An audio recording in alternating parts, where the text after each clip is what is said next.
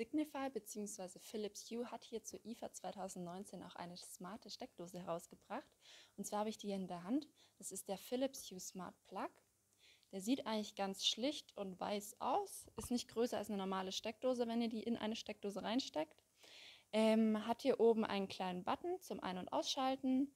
Ähm, ja, und ansonsten könnt ihr die natürlich auch noch über euer Smartphone bedienen. Hier rein passen ganz normale ähm, Schokostecker, also jede übliche ähm, Lampe oder Leuchte, die ihr zu Hause habt oder auch andere Haushaltsgeräte wie Kaffeemaschine, Wasserkocher, Waschmaschine oder was ihr sonst so anstecken wollt.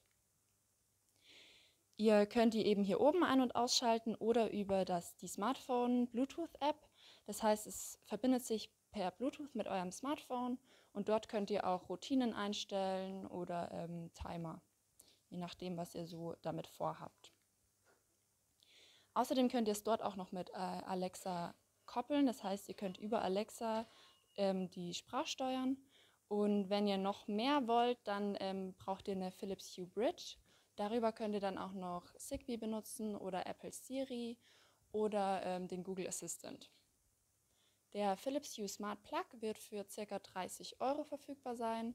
Und zwar wird er auch in ein paar Tagen schon lieferbar sein, aber jetzt könnt ihr den schon bei uns im Shop vorbestellen.